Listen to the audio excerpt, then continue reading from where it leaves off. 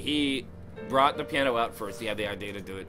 I had already given up. I was looking to be an actuary for like seven months. I was studying doing math stuff. Like that's why I, I just seven months of unemployment. I'd kind of given up, and I had moved home.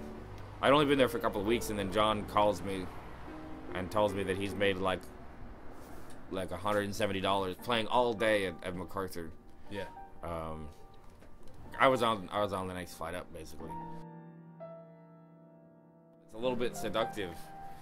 Like the street performing thing is like it's really good practice and it keeps our chops up and kind of keeps us focused and um, and pays the bills.